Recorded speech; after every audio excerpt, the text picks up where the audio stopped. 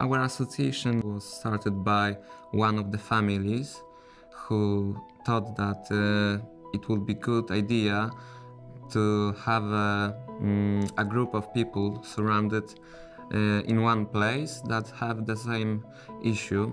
We are uh, searching for new patients in Poland, uh, for the help for them, for the medical doctors, and for the uh, possible treatment for them.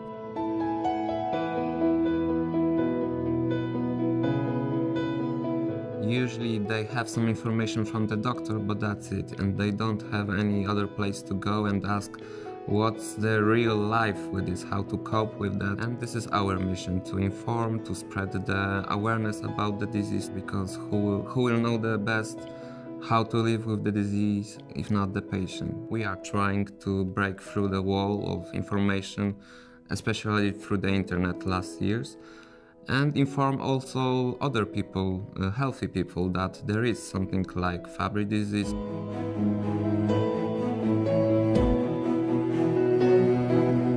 Today, the internet is the number one media, and this is how we came to an idea that maybe we will trick the people and ask them what they know about Fabry, who is Fabry, where is Fabry. For the first month we were uh, having this campaign in the internet, in the Facebook pages. We gave the, the sign Where is Fabry to the many of Polish celebrities and took a photo of them and put into the internet.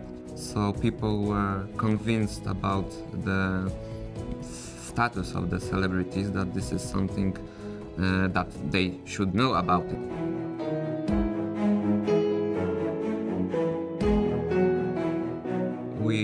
Planned the event on the fresh air in the place in Warsaw where many events is taking place. A whole bunch of people show up at this event.